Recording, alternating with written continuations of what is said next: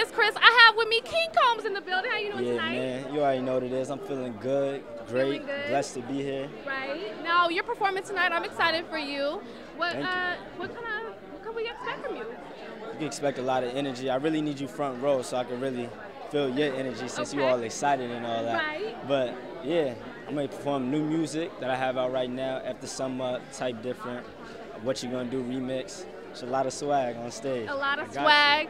A lot of a lot of dad swag. I see Alright. some of your videos, your sound, your look, your style. It's very uh, New York.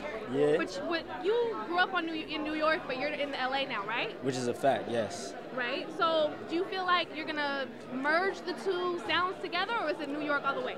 Well, I feel like my sound is really just who I am. If it sounds New York, that's probably right because that's where I'm really from, and Yeah. that's like my home and where I get my roots, Harlem roots, Mount Vernon. So yeah, I feel like it's just a feel-good sound. Not really. I wouldn't say it's a state.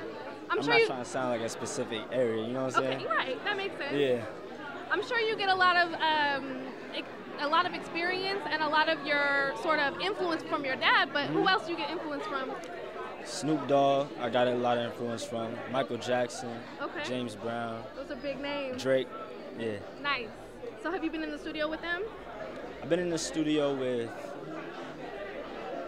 my pops and Drake. Yeah, and I, I didn't get a chance to go with James Brown and Michael Jackson. That would have been crazy though. Yeah, it would have been crazy. OD. All right. Well, what have you learned from your dad? Tell us one Mm-hmm. big piece of advice that he's giving you. of course, to never stop, but to also be yourself, be humble, and just know that the sky is the limit. There it is.